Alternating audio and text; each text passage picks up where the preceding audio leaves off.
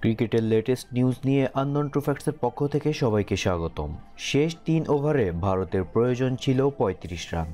আঠারোতম ওভারে মাত্র এক রান দিয়ে এক উইকেট নিলেন মুস্তাফিজ। দুই ওভারে ভারতের প্রয়োজন চৌত্রিশ রান। শিরোপার স্বপ্ন দেখা শুরু করল বাংলাদেশ।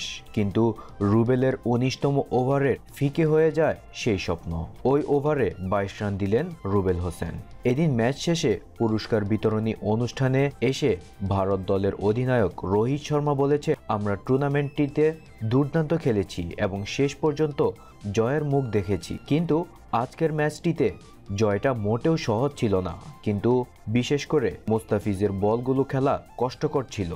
এ সময় সতীর্থদের প্রশংসা করে তিনি বলেন, সবার চেষ্টায় আমরা এতদূর এসেছি। এমনকি আমাদের সাপোর্ট দেওয়ার জন্য কোচিং স্টাফদেরও ধন্যবাদ। অন্যদিকে বাংলাদেশ দলের অধিনায়ক সাকিব আল হাসান আঠারো ও উনিশতম ওভারে আমরা আমাদের সেরা বলারটাকে কাজে লাগাতে হয়তো জেতা সম্ভব হতো।